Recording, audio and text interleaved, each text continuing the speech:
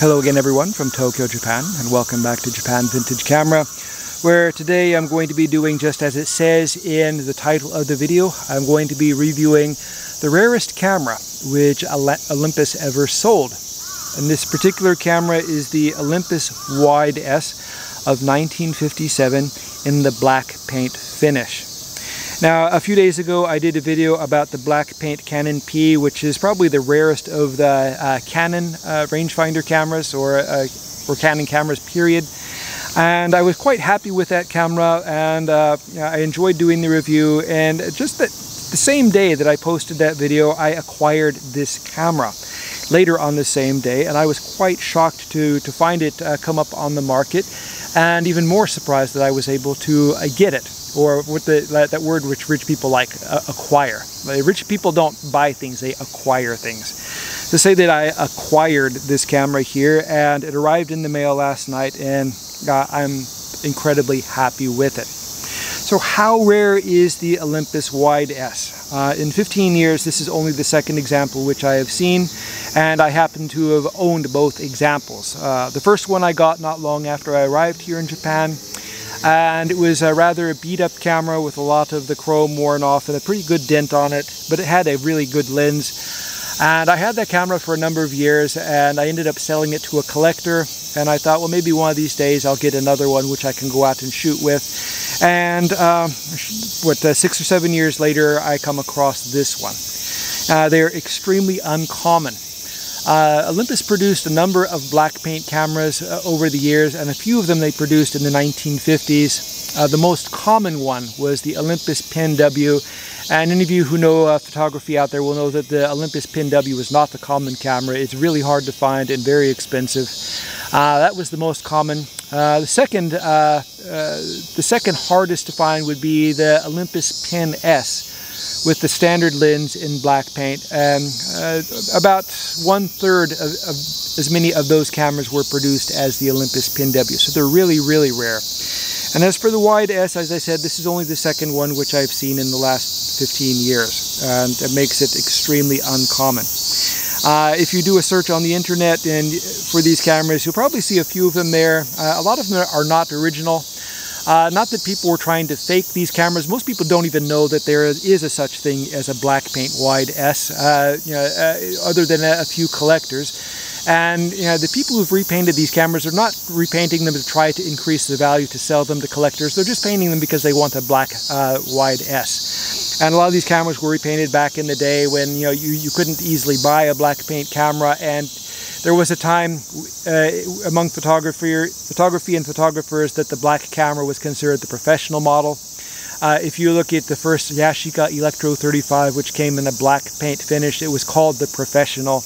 And uh, other, uh, I guess, uh, sales brochures and things at the time would, you know, would usually say that also available in a professional black finish. So some people simply just painted them black because it made the camera lower profile and uh, and they couldn't find an original black one, which was which is obvious in this case since they made almost none of them.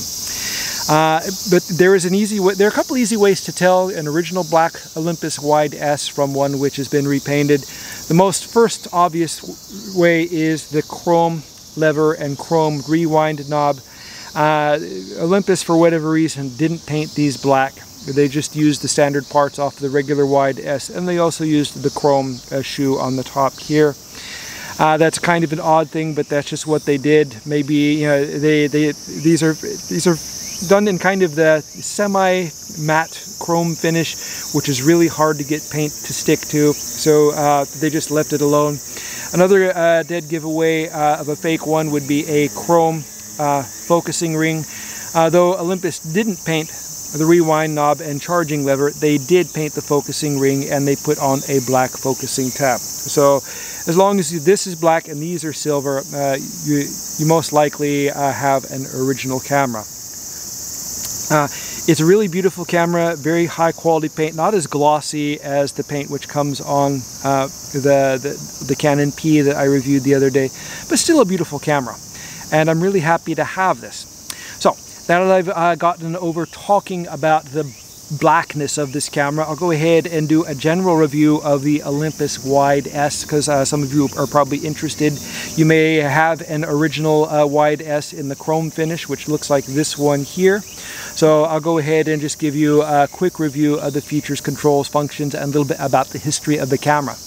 Uh, starting with the history, this camera was released in 1957, and Olympus released this version with the wide-angle lens as kind of a way to preempt Leica, who at the time were getting ready to introduce their new 35mm uh, f2 Summicron lens.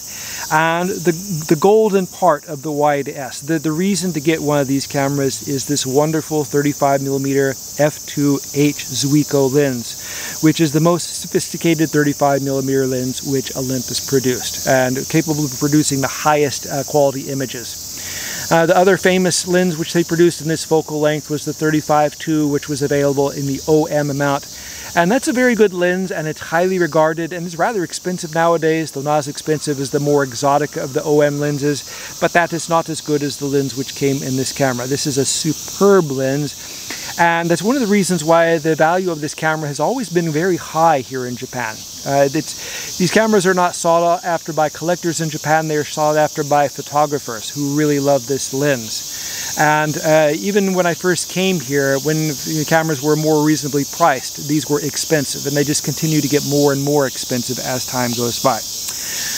Let's go ahead and take a look at the features, controls, and functions and how to operate the camera. We'll go ahead and start with the rewind knob here, which is kind of the pop-out thing which Olympus used in their wide S cameras and also the 35S. This was an innovative feature in those days when most cameras still had a rewind knob. The lever allowed you to rewind the film more easily.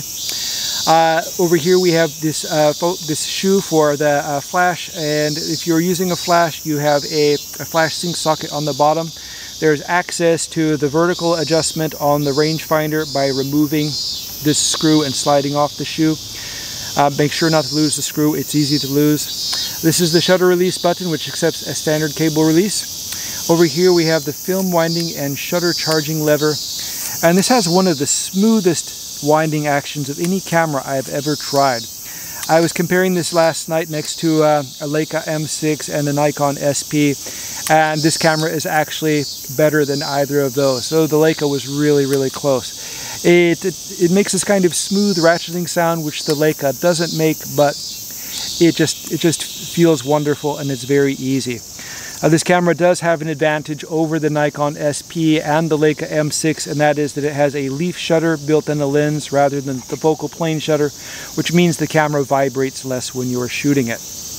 Moving to the back of the camera, we have a viewfinder window. Uh, this camera comes with a really nice, sophisticated and bright viewfinder with projected frame lines.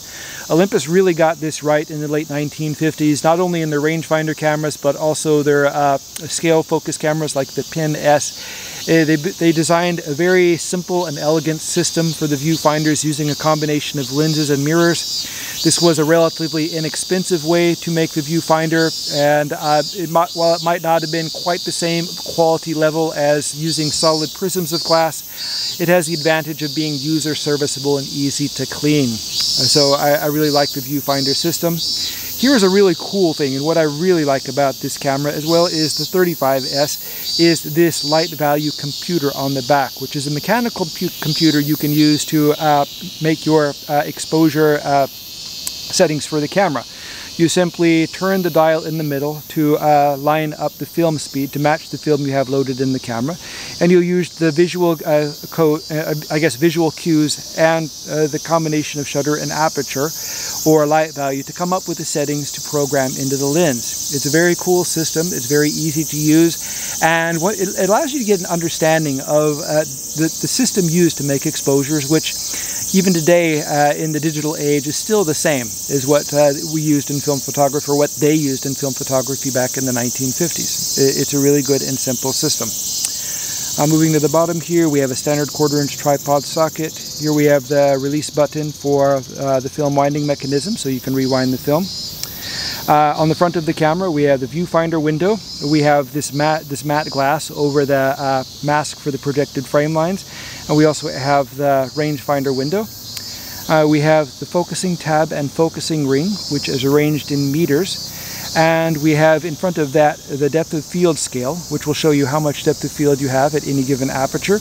And in the middle here, right on the uh, focusing line, is a small window which is the shutter charge indicator. If I charge the shutter, this will turn red, and when I fire the shutter, it will turn clear. It's a really useful feature and quite a wonderful thing. This was really high tech in 1957.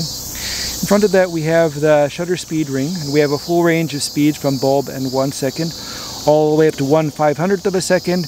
There's an extra step for the 1 500th uh, uh, shutter speed. Uh, that's normal because there's an extra spring required to get that higher uh, speed. Uh, this camera, it's not so difficult to turn it to the 1 500 speed. Uh, other versions, it's sometimes more difficult. it just depends on the camera you have. In front of that we have this moving window and as the window moves across you can see the EV numbers or light value numbers underneath and you would simply use the computer on the back to come up with the appropriate uh, uh, light value. And then you would turn either uh, either dial the aperture or shutter speed dial until you got the, the correct light value for the the light you have you know in, in your scene. And the cool thing about this camera is it doesn't have the uh, crazy uh, EV computer or interlock system on it, which kind of locks the rings together and you have to push or pull or squeeze or whatever it is to get them to work independently. Here they are not locked together. To, to get them to, if you want to use the same EV number with a different combination of uh, shutter speed and aperture, you simply turn the two rings together like that. It's a very simple foolproof system. If you want more depth of field, simply turn it this way to a larger aperture and a faster shutter speed, excuse me, less depth of field. I get backwards sometimes. This also freezes action more, but uh, you have to be more careful with the focus. And as you turn the other way, this slows down the shutter speed, uh, but closes down the aperture and increases the depth of field, which gives you uh, uh, sharper, you know, sharper images when you're shooting landscapes or things like that. But you have to be careful for you know, things like moving leaves on windy days or, or people running around. Uh, what I generally do is I tend to shoot most. I try I try to focus around f8 and uh, that tends to get the best uh, performance out of most lenses. And if I want to really uh, shallow depth of field for something close up, you know, like flowers or things like that, of course I can uh, open up the lens. And if I'm doing, uh, say, a landscape or something, uh, and I, I, want, you know, a long exposure for a really good, accurate, you know, ac you know, say improved accuracy, I'll go ahead and stop down the lens and use a shutter, low, lower shutter speed, and I'll mount the camera to a tripod. Uh, very simple system and very much like uh, what you use on pretty much other any other camera except with the addition of this really clever system which I really like. Wonderful thing about this camera is it came with the original black uh, lens cap which is um, uh, the camera itself was hard to find. To find the original lens cap is just like icing on the cake.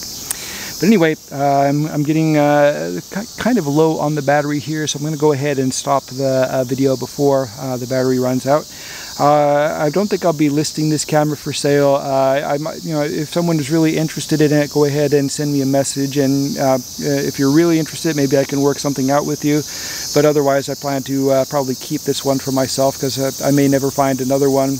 And but I do have uh, this other 35S, which is for sale in my Etsy store right now.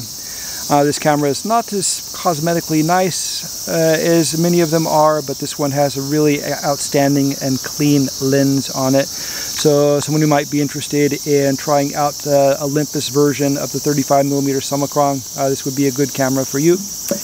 Uh, I plan to be making uh, more videos over the next uh, week or so. If you'd like to see these, uh, please subscribe. I'm always trying to get more people interested in vintage cameras and photography, so uh, it would help if you click the like button. Uh, thank you very much for watching, and I hope you tune in again soon.